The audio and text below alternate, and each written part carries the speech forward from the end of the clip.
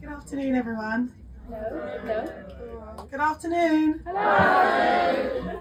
Um, before I start, my name's Dominique, um, and thank you to the Forest Gate Community Garden Team for welcoming me here today. Until very recently, I was a deputy head teacher at a school in Newham, uh, and I just know that Benjamin Zephaniah's poetry, his thoughts will continue to trickle down onto the next generation.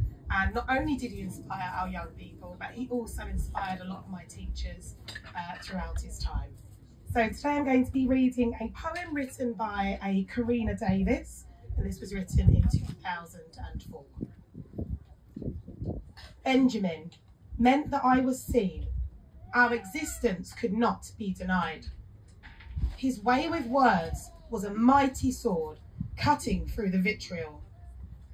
He gave me courage, a sense of time and space, one of many voices that was seen and heard, provided a sense of pride, a sense of belonging, a sense that we could all belong. If only we could be seen through his eyes, the whole person, our humanity, not reduced to the sum of our parts, but our collectiveness the thing that he could see could bind us together as one. Thank you very much.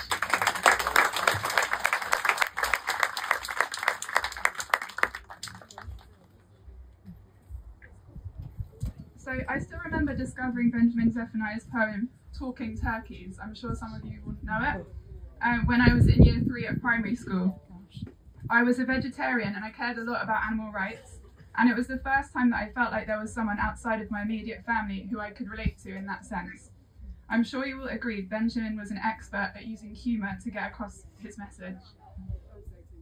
Um, Benjamin experienced racism at primary school, and this led him to viewing the cats and the birds and the bees as his friends. He went vegetarian at age nine uh, when he realised that eating meat that meat was um, animals that had been killed. And then he went vegan age 13 when he discovered the cruelty involved in other animal products such as milk and eggs. I admire Benjamin hugely for this because back then going vegan was a totally different thing to going vegan now. I used to be an English teacher in a school called uh, Trinity School in Canning Town. It's changed now, and uh, and the kids didn't like poetry at all, even though I had to get them to like it. And uh, after weeks of not liking it, I thought, what am I going to do? So I thought, I've heard of this chap called Benjamin Zephaniah, so see if we can get get him along. And uh, by the end of the session, it was uh, you know they loved poetry after that, and they were writing things to me. I, I, I, can only remember two lines actually, which they uh, really liked him for, although the, the whole thing was great.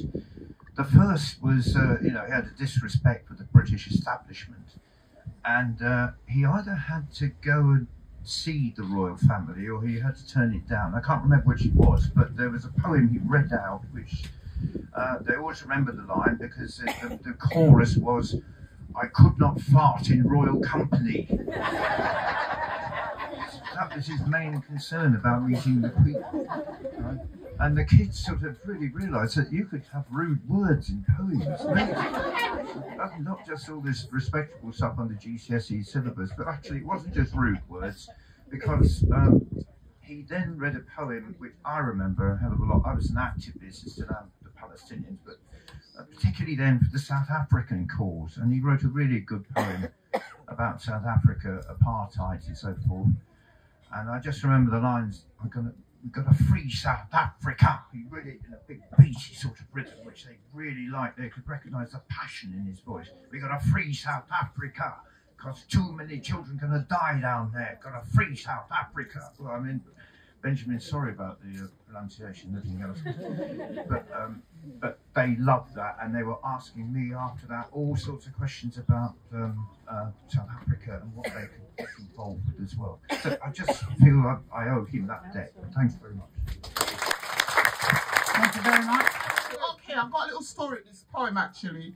I was at um, drama school with Ashley Waters Drama School in Bath and um, they gave us a book to pick a poem from Benjamin. And it's, it's so funny. I saw, I, I saw this one. It's called when my trousers run away. and because I do like I do write a bit poem myself, so I'm just gonna read a bit of it for you. I was walking down Waterfront Street when my trousers ran away. I was feeling incomplete, but still my trousers would not stay. When I found where they had gone, the pair addressed me rather blunt, and they told me they were sick of being put on back to front. I told them I would treat them good and wear them back to front. I promised them protection from a friend who is a Mac. Me trousers did not believe a single word I had to say.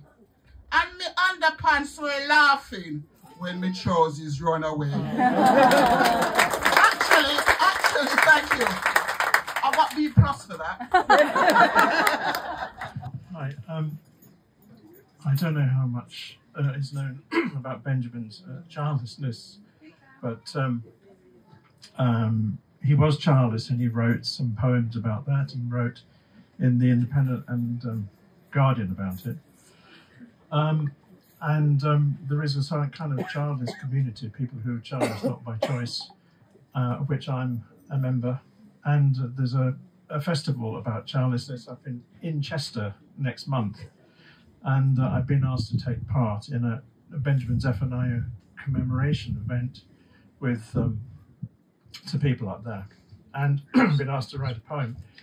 But um, Benjamin wrote a poem called, I didn't know it, but he wrote a poem called Childless. Um, and it goes like this Strong biceps, firm thighs, big bottom, sexy eyes. Fast on the track, strong like a lion. Good king, good kung fu feet, and healthy hair. Strong triceps, no lie. Rhymester, nice guy a good healthy back, great levels of iron. There must be a baby in there somewhere. There must be a baby in here. Ivia, I hope you can hear me. My name is Ivia Scott, and I worked in Newham for the Ethnic Minority Achievement Service as a consultant with Sharon and some of um, about 10 of us who worked um, over the time for the service. And um, Benjamin um, was a supporter of our team. He would say to us, you can use any of our poems. And one of the things I did, I asked one of the children to write to him um, so he could come into the school to do an assembly. And within a week, he came in, despite being busy, um, to work with the children. And he spent the whole day in the school. And I think they were over the moon. So I'm going to read this tribute from um, Michael Rosen, and he's, he's saying, Benjamin Zephaniah was a giant of fire, a thousand rhymes on his tongue, dazzling us all, old and young, cutting through the politicians, words conjure and magician. It was his obsession to fight oppression, Rastafarian, egalitarian, invincible, man of principle, Benjamin Zephaniah was a giant of fire. Nice.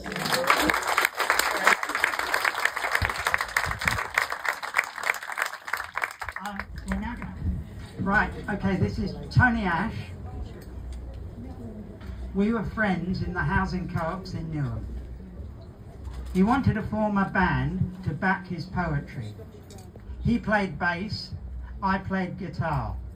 He was such a dynamic live performer, powerful, full of energy in his delivery, and he used to play bass at the same time.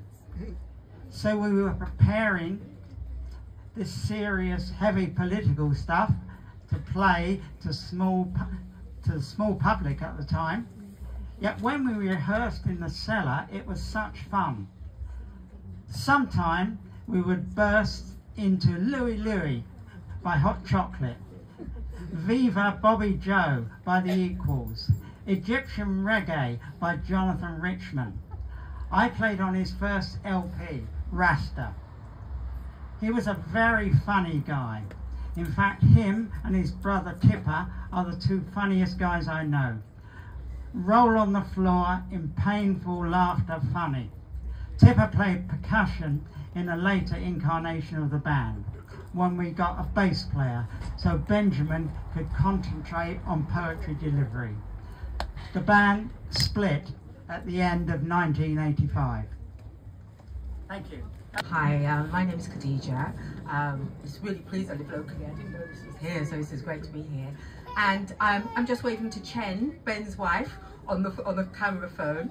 She wasn't able to make it down here today, but myself and Manju, we both know her. We do some work with her, etc. So she is really, really doing her best to keep Benjamin's legacy alive. That's why if you visit the social media, she's just keeping people updated in a really amazing way. So she just said that I can just kind of let you know some of the things that will be happening. We have got the Nubian Jak Blue plaque that's going to be put up in Birmingham on the 25th of September. Um, so we're really pleased that that's going to happen and that's been supported by the Black Writers Guild and, would you believe it, the National Trust. Uh, so it's like nationally, they're going to promote it nationally that we've got the plaque for Benjamin. And as well, but the most important thing is there is going to be a Benjamin Zephaniah Day. Um, it's going to be in April. We're going to let you have more information on that. If you look at his um, social media, and all the up-to-date information is going to be there. So um, there's going to be Brunel University are still kind of supporting um, everything with his students, what Benjamin did. It's brilliant because he affected so many of us, like you say, in so many ways. Um, so there's going to be uh, a Benjamin Zephaniah Square named after him at Brunel University. And they're also going to support the Benjamin Zephaniah Day. They're hoping to go national. And as somebody was saying, they don't often mention the veganism. Well, trying to get the Vegan Society involved in that. Because, of course, he was the, uh, I think he was the president of that so to make sure that they are still involved um, and also uh, inquest because some of you may know as well that his cousin Mikey Powell was killed in police custody. So he keeps support of that. And one of the ways I know him is because my cousin was also killed in police custody in Scotland. So you, you kind of form a little club that shouldn't actually exist. With things like that. Um, and my involvement with Benjamin is because uh, I've known him for about 30 years as a poet. And I we started working on a book, would you believe it, about 10 years ago. Um, so I have to finish the book. the book will be finished and the book is basically, it's an anthology of, uh, it's a history of black people in Britain through poetry. So it's poets that have already been done, but telling the story of black British people in history. So it's Benjamin's idea. He just got me to kind of work with him on it. Um, so that's what I'm going to be doing, and hopefully that will be out within the next couple of years when it's finished. no, not Temi. And I actually feel very emotional from this day. I was very privileged to have worked with Benjamin for over 25 years through the shop, but also personally. He was an absolute magnet for children introducing them to poetry, introducing them to reading, and probably some of you here are here because he got you reading. Um, I, as I say, I'm quite emotional and not going to say much more, except that his book signings were legendary. If he'd have known how many books we sold here today, if he'd have known how many books we've sold here today, he would be so thrilled. I do want to just say a couple of words about politics because he was so outspoken on empire. That, and um, 20 years ago, Channel 4 filmed in the bookshop how he turned down the OBE. So important, still relevant, and even more relevant today. And I also want to say he was such a champion for the Palestinian cause, which is more important now than ever before. So thank you for listening and this is a fantastic day. Thank you. Uh, it's a huge number of people. Thank you so much for coming and also for the lovely tributes and uh, listening to him. And I just think it's a terrific thing. So I'm really, really pleased. Um, the reason why I just wanted to speak is that we have a tribute book um, where we're collecting tributes from people who knew him, who were affected by him, who loved his work, all sorts of things. And the tribute um, thing to put the collection for writing them are on the table over there.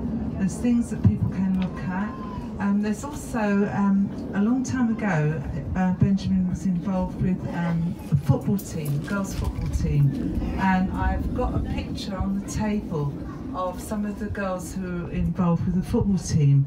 And if anyone recognises anybody or uh, they're in the picture themselves, we would love to hear from them and um, we would love a contribution in the book from uh, anyone in the football team. So, and also, if you want to contribute to the book and you want to do it in your own time, you can email any contributions to uh, the garden and we will um, put them in the book. We'll print them off and put them in the book.